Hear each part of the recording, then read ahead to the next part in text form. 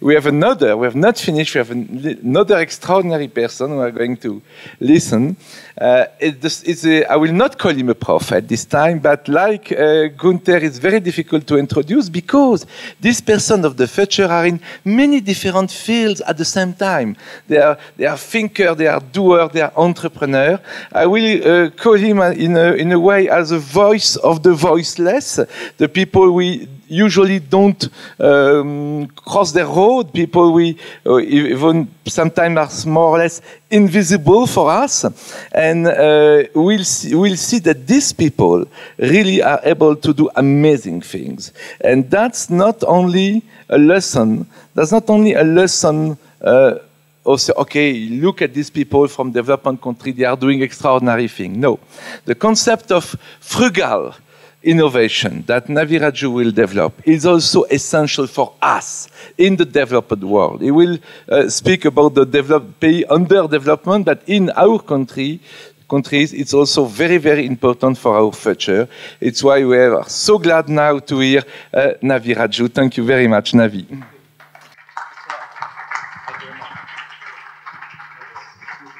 No problem. Now take your time. Good morning, everyone. It's a delight to be here with you. Uh, I must say that uh, 36 hours ago, I was in uh, La Réunion, which is an island of Madagascar, at uh, zero meter uh, kind of uh, sea level much. And it's kind of interesting to go from zero meter altitude to almost 2,000 meters, so I'm still catching up my breath. So delighted to be here with you this morning to talk about a subject that I'm very passionate about, which is frugal innovation. I just want you to kind of look at these two words next to each other. It's like an oxymoron, a contradiction in terms, right? Something which is frugal, cheap, you might say, cannot be innovative. And similarly, when you look at the word innovation, you think about big R&D centers, billions of dollars in uh, research and development, and therefore innovation cannot be done frugally. And my job in the next you know, 45 minutes is to try to reconcile these, this contradiction between frugality and innovation. So let me begin by telling you about frugal innovation from a personal perspective and trace the kind of uh, humble origins of this very important concept. I grew up in Pondicherry, a former French colony in southern uh, France. Um, the weather was very hot and water was rationed. So me and my brothers would wake up at 5 o'clock in the morning to fill these buckets with water that we had to clean ourselves and cook. And then once a week, we had the luxury of taking what we call a one bucket shower with one bucket. And also remember that even though I went to a French high school, next to my house was this old man who used to resell or rent actually old English magazines and books for just a few cents, which allowed me to catch up on English much faster than my fellow students. Of course, today in the West, we came up with a very fancy term for this called the circular economy, but we have been practicing it in poor countries for eons. So after experiencing scarcity for about 20 years, I immigrated to the West, probably lured by the promise of abundance. I studied for seven years in France, then went to United States, and settled in Silicon Valley, where I live now for the past you know, 20 years now. And what I noticed in the West is that innovation is considered as very sexy. Look at, for example, the MAVEN, the satellite launched by NASA, which entered Mars orbit in September 2015. It's an unbelievable kind of you know, scientific achievement. The problem is that this kind of innovation doesn't come cheap. Uh, this project actually cost $680 million of taxpayers' money, like myself, to send this baby into Mars. And that's what we have seen since World War II, is that companies in the West, whether they are American companies or European companies, have been outspending each other, outcompeting each other to see who is going to be invest most in R&D. And now Asia, led by China, is entering the same R&D arms race to the point where in 2016 it has been estimated that the biggest companies in the world spent a whopping $700 billion in R&D. What's wrong with this picture? Well, what's wrong is just because you spend more in R&D doesn't mean you're, you're systematically more innovative. And this was a very taboo subject that nobody talked about for a while until 10 years ago, uh, several consultancies, including Strategy&, which is now part of PwC, begin to debunk this myth that more R&D leads to more innovation. As a matter of fact, they found that there's no correlation between how much you invest in R&D and how innovative you are. In other words, money does not buy innovation. And yet, we keep spending more and more in R&D to produce useless stuff like this one in Silicon Valley. It's a $400 Wi-Fi enabled juicer, which turns out to be no more effective than a manual juicer I use every morning, which only cost $1. Okay? This is the kind of useless innovation that led Sam Pitroda, the former advisor to uh, the Prime Minister of India, to say that the world's best brains are wasting the brain power trying to solve rich people's problems who really don't have problems. Okay? But actually, what are the real problems? How about 17 of them? These are the 17 SDGs, Sustainable Development Goals, established by United Nations to help the entire world community become better in terms of education, healthcare, access to energy, etc. So it became clear to us, me and my co-authors, that we have spent too much time in the West and we became so kind of enamored with abundance that we forgot our roots. So we decided to go back to roots which lie in scarcity to figure out how entrepreneurs in poor countries go about coming up with new products and services. In other words, how they go about innovating. What's the mindset? And that's where we discovered something amazing is that these entrepreneurs in emerging markets have a unique mindset. Let me illustrate the difference between what happens in Silicon Valley when an engineer comes to work Monday morning, he asks himself, what if he can create a solution that connects my fridge to my smartphone? We all have a fridge, we all have a smartphone, and if I run out of milk, I can get an SMS so I can fetch a gallon of milk on the way back home. That's what I call small what if question. Because someone in India asked himself a big what if question. What if I can invent a fridge that does not operate, that operate without electricity? That's a big what if question because 600 million people in India live off the electricity grid. And this question wasn't asked by someone who has a PhD from uh, computer science from MIT or an MBA from Harvard, but by Mansukh Prajapati, who didn't even finish his high school, is a potter by training who invented the world's greenest fridge called Mitticool, made entirely of clay. It's 100% biodegradable, doesn't consume electricity, and essentially uses the principle of evaporation to keep the lower chambers cool. So it can keep fruits and vegetables fresh for several days, milk fresh for three days. So you can see that uh, the biggest lesson we learned studying these kind of, and I have several of them coming in future slides, is that these entrepreneurs are alchemists. They're able to transmute adversity into opportunity, and particularly resource constraints are not a limitation for them, but actually are a spur for creativity and innovation.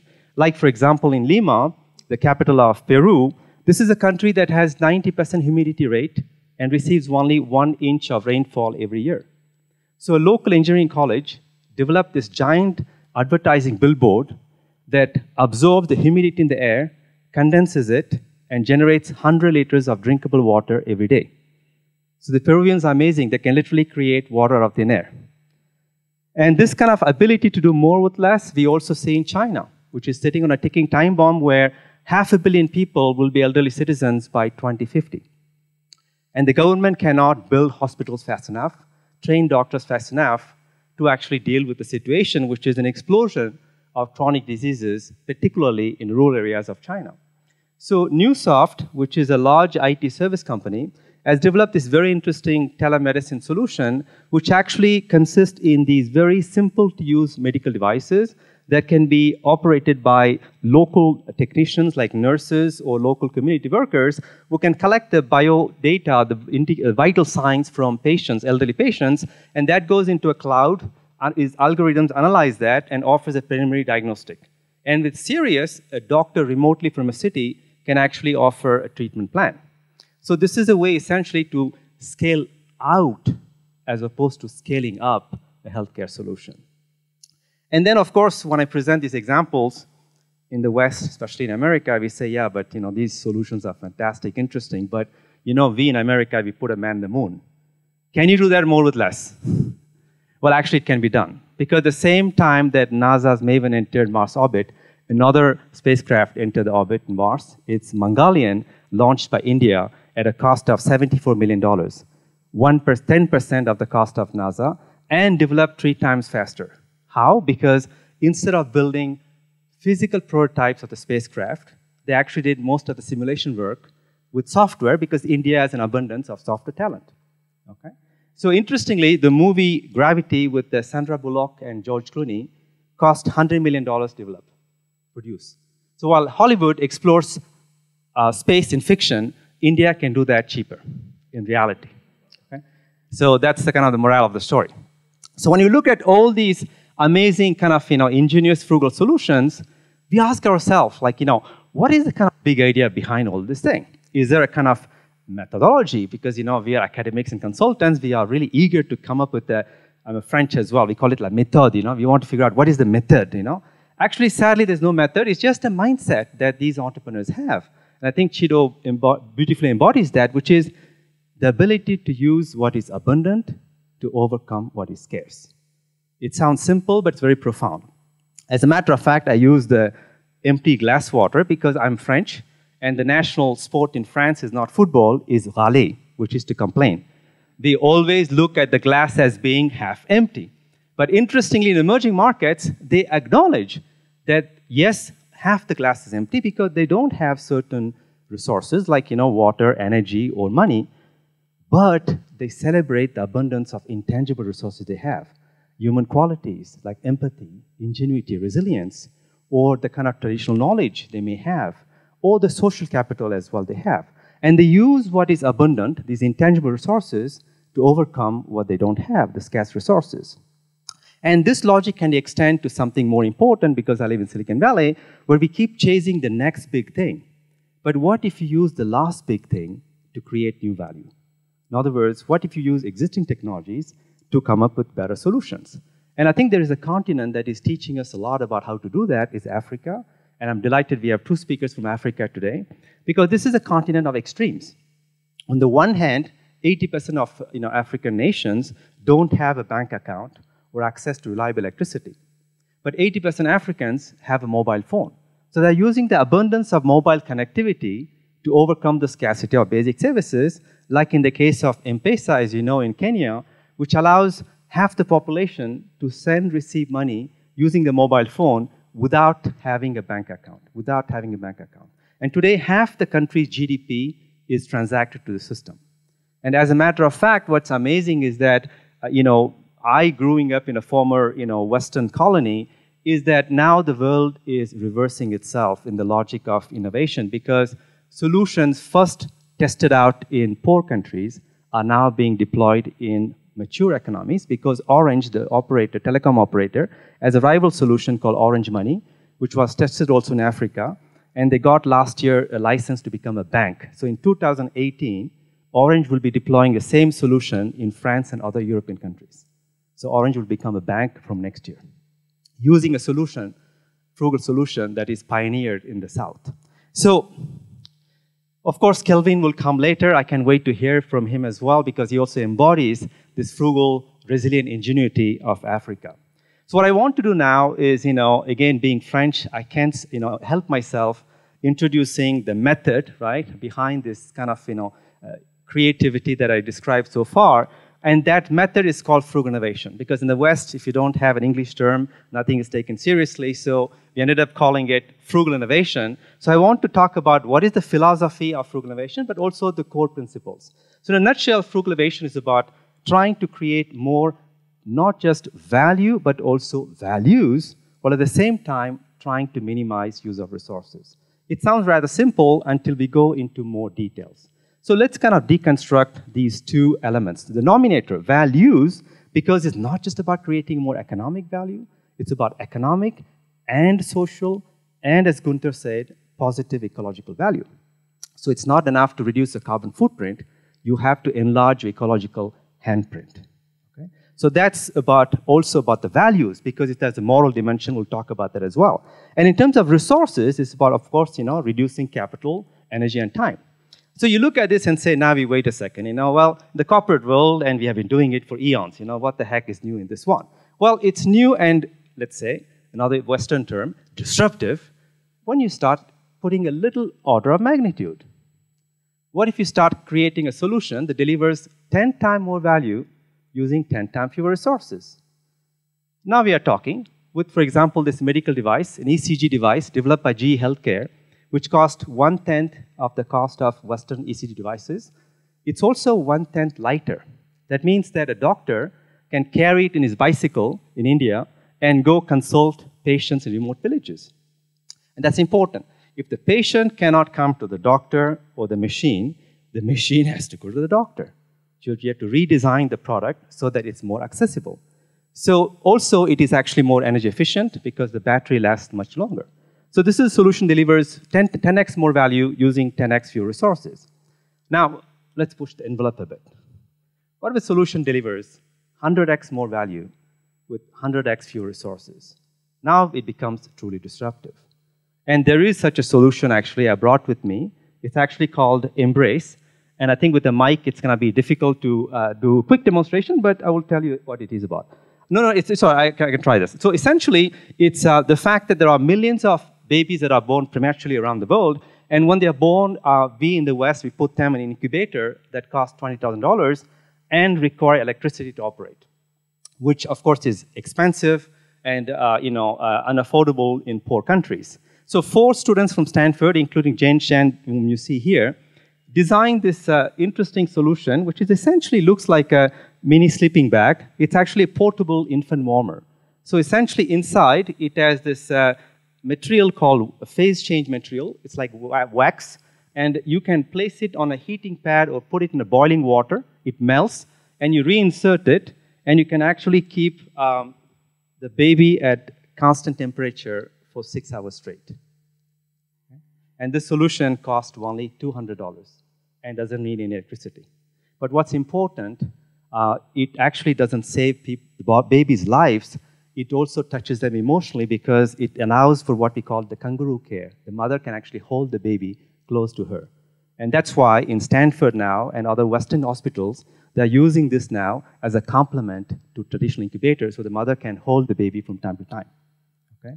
And uh, of course, she's a you know, very famous Jane Chen, and uh, she met with Obama, and Beyonce is a champion, which doesn't hurt, hurt either. Uh, and more importantly, they have saved the lives of 300,000 babies in the last six years. And the goal is to save the lives of 1 million babies in the next five years. Okay? Now, let's push it even further. What will happen, by the way, so this is important, right? It's not about just creating more value, it's sometimes it's about saving more lives. And that's why I think that this kind of innovation is very noble in nature. Now, let's push it even further. What about not just saving lives, but pe making people even more alive by a factor of 1,000? And at the same time, do so in a way that is 1,000x cheaper and better. So that is what is my next example, which is the fact that there are, I guess, millions of, uh, maybe hundreds of thousands of kids around the world who live without the hands. Either they lost them in accident or due to congenital uh, diseases. And if they want to be equipped with a uh, kind of a high-end and industrial prosthesis, it costs $35,000. But an NGO called Enable the Future uses 3D printers to allow parents to print themselves this prosthesis and assemble it and put it on the kids. And that solution costs only $35. Okay? And such a solution brought immense joy to Maxence, a young kid in France who became France's first kid to be equipped with a 3D printed hand, or this young Indonesian woman, woman who was able to feed a newborn baby for the first time with her own hands. So for me, in a nutshell, if you ask me what is innovation, it's a wise innovation that tries to maximize joy while minimizing suffering of human beings. So, so far what it is, you know, kind of uh, start with the genesis of this concept of frugal which comes actually for, for, for poor countries. I offered, you know, an outline of what is the theory and why it's disruptive. And now I want to show that it's an universal in nature, in the sense that it's not limited to the, West, the poor countries, but actually even the rich countries the need for doing more with less is emerging. As a result, frugal innovation is being adopted in rich countries as well. So let me explain why this is happening. To begin with is the fact that there's a fundamental shift, I would say, in the values, needs, and expectations of consumers in the Western world. They're becoming what I call values conscious. As you can see, since 2008, more and more consumers prefer to buy private label brands. They're not attached, especially the millennials, young kids, are not attached to labels and brands like we were, Generation X. And also, there is this growing movement we call sobriété heureuse in France, uh, simplicité volontaire, we call it also. And Americans also always have to come up with a new term. Uh, they call them minimalism. Of course, we elected a US president who embodies maximalism, but it turns out that, you know, uh, you know, a lot of Americans now embracing this concept called minimalism, which essentially consists in downshifting. That is, even though you have money, you choose to live a simpler life. So this is actually uh, two uh, young people who actually have been becoming like rock stars in America. They are Josh and uh, Ryan, 30-somethings, who left a comfy job and a big house, big car, to go live in Missouri, a very simple life. And they have written uh, actually a lot of books and done a documentary you can watch on Netflix. And they have already reached about 20 million Americans now who follow them. Okay? So this is an amazing growing movement. The ability to live better with less, which is you know, unheard of in America, but this is happening. Uh, we also noticed that more and more uh, consumers in the West are becoming eco-conscious. They demand that brands become, uh, behave in a more uh, socially ecological responsible way. And also you can see that 80% consumers now, especially in France, prefer to buy products locally, and this is what we call circuit court. Uh, and actually, I'm also a big fan of that. I live in California, and California, and uh, I decided to buy only products grown within a 900 mile radius. It's big, California. So as uh, somebody who grew up in India, I gave up uh, banana, mango, uh, you know, all kind of tropical fruits, papaya. I don't eat them uh, which is you know sad, but you know I have to live up to my values. So I think this is the kind of movement I think you will see more and more citizens practice, you know, to actually source products that are locally grown, you know, within their you know region. But what's more alarming is the fact that actually more and more young people, the millennials actually, value quality over quantity. Uh, you can see that many of them prefer to have access to a car on demand as opposed to owning a car. Uh, my generation uh, felt that a car was a status symbol, not for them. It's just something utilitarian. Okay? But more interestingly, if you are an employer, you can see that 66% young people want to be an entrepreneur. They want to be their own boss and not have a boss you know, above them. So that's very important because this transitions to, um, I think, the most important slide in my discussion, which is that what is really happening, I think, is that citizens, I would say, around the world are becoming more conscious. Now, the term conscious in the Western world, in medical terms, means that you're awake as opposed to being asleep or in a coma. But in Eastern tradition, consciousness has a whole different meaning. And where I come from, India, we have actually uh, an approach to describe the different levels of consciousness, which is based on what we call the chakras, which are essentially the energy centers located in our subtle body. There are seven of them. I will start with the three basic chakras which actually control or influence, or I call it the animal instincts, which are the fear, survival, desire, first it's for sex, then it's about I need a bigger car, I need a bigger title, I need a bigger residence. And then once you have bigger, bigger, it's not enough. You want, it, you want to have it all. That's control and domination. That's the third chakra. As long as you live a life that is completely dominated by the energies of these lower chakras, you live a life of of having because you will never be satisfied. You always want to have more. And you're always self centered. It's all about me, me, me, me. And you always experience a sense of scarcity. There's a sense of lack. Something is missing and it's never going to be fulfilled or filled. The transition to consciousness really happens is when you activate the heart chakra. Because the heart chakra is the seat of compassion, which is nothing other than the passion to alleviate the suffering of others.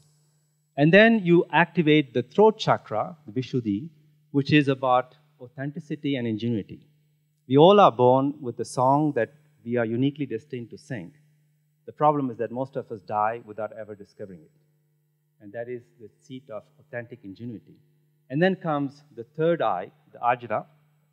I'm sorry, the third eye, which is the ajna, and that's where you discover the wisdom. You realize that actually you're all connected. You begin to appreciate and celebrate diversity. And then comes the seventh chakra, which is about unity with the supreme consciousness. And as you transition from lower chakras to upper chakras, you start transitioning to a life of being. Your mode of existence is no longer having, it's about being because you experience a sense of abundance. You are rich inside. And because you're rich inside, you can willingly share more things with others without feeling impoverished. And more importantly, you go from self centered to other centered.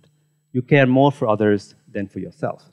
So, with this as a kind of a framework for the evolution of consciousness, I want to show how this new consciousness is actually going to be uh, shaping a new economy uh, that is powered by human energy that I call the frugal economy, that actually rests on three pillars, which is sharing, making, and uh, reusing.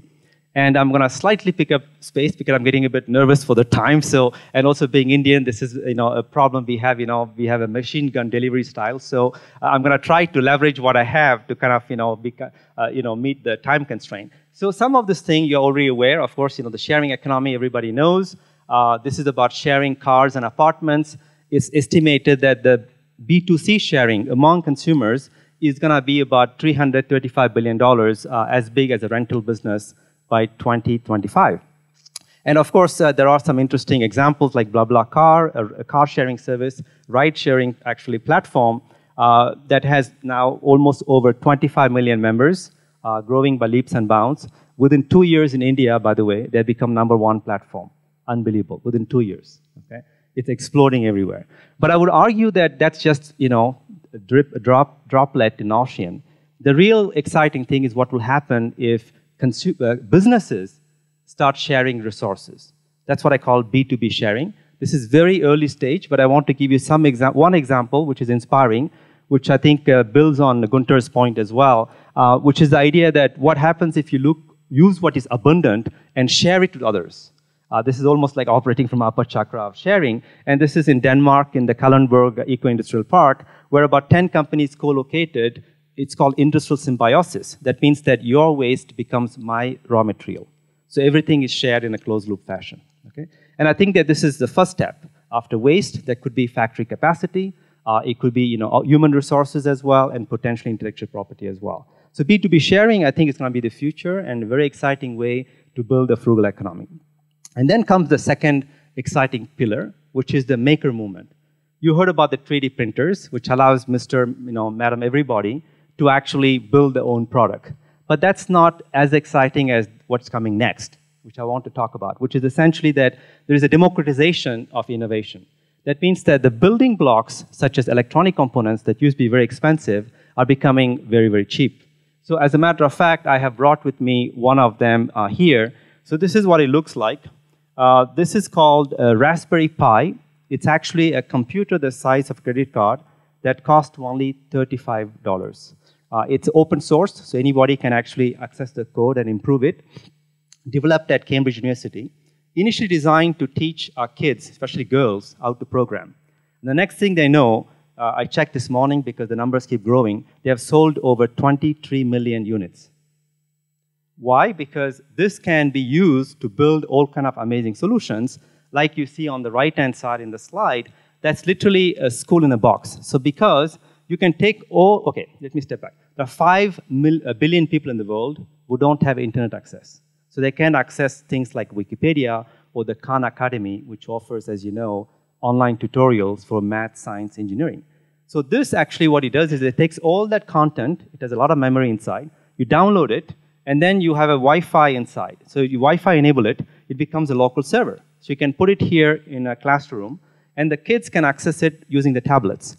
In India, they've developed a tablet for the cost of only $35 instead of the 600 bucks for the Apple iPad. Okay? So the kids, in two hours, notice that there's no uh, teacher in the school.